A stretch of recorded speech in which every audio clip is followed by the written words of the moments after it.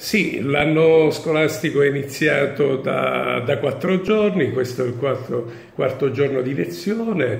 Devo dire eh, la risposta alla domanda è sì, con grande passione, grande dedizione, ma al contempo si fa i conti anche con alcune difficoltà che sono presenti nella nostra istituzione. Io in questo momento vi parlo da Brancaccio, un quartiere di Palermo conosciuto, ahimè, nel passato perché è, stato, è, venuto alla ribalta perché qui è stato ucciso Don Pino Pugliesi, il beato Don Pino Pugliesi. Proprio di fronte a noi, accanto a noi, al nostro istituto, sorgerà questa chiesa eh, in ricordo di, questo, di quest'uomo che ha dedicato la vita al quartiere ai nostri ragazzi contro le delinquenze. In particolare mi, mi soffermo sul fatto che il, la scuola da dove io vi parlo, anch'essa, è un bene confiscato alla mafia, un bene confiscato alla mafia circa 30 anni fa e sicuramente è qualcosa di molto importante, la restituzione di un bene comune che ritorna di proprietà della, della gente, dei nostri ragazzi, della comunità che ha voglia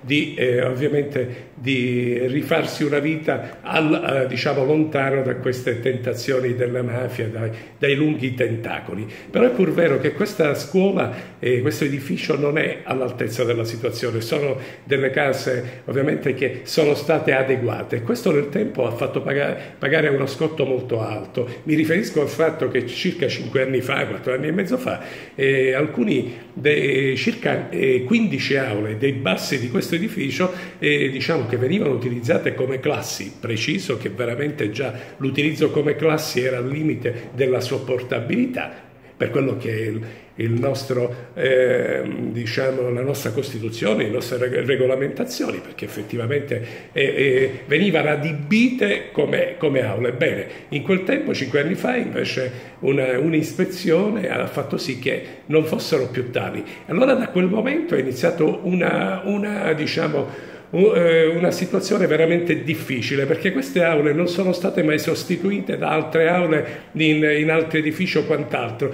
e tutto questo ha fatto sì che nel tempo questo eh, ovviamente andare avanti ha creato delle difficoltà che oggi di, veramente sono insuperabili. Basti dire che a me mancano eh, circa 7-8 aule, eh, mi diceva le, nell'intervista cosa sta facendo. Insieme agli operatori della scuola eh, vi dico sto spacchettando l'aula magna, sto facendo due aule, sto recuperando alcuni laboratori che sono in disuso attraverso le buone pratiche dei nostri lavoratori, quindi devo dire grandi difficoltà. Però lasciatemi dire, eh, concludendo in maniera diciamo ottimista, ma non un ottimismo bacchettone come mi piace eh, dire, ma un ottimismo serio che nasce dalla voglia e dalla passione dei nostri ragazzi con cui giornalmente affrontano la scuola. Noi abbiamo una popolazione scolastica stupenda, 1300 alunni veramente che sono l'orgoglio della nostra scuola. Noi siamo il liceo Danilo Dolci di Palermo,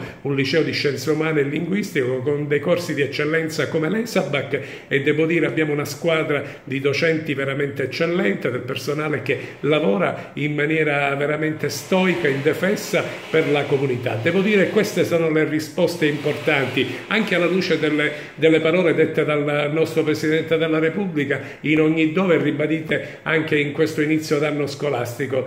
La scuola è qualcosa di fondamentale nella vita. Vorrei Vorrei, vorrei, chiudere dicendo eh, una massima che mi piace ricordare, eh, il tempo viene scandito dalle ore, la vita invece viene scandita dalle emozioni e la scuola così come nella vita vuole diventare un'emozione positiva perché i nostri ragazzi possano prepararsi al futuro e diventare i protagonisti di domani. Grazie.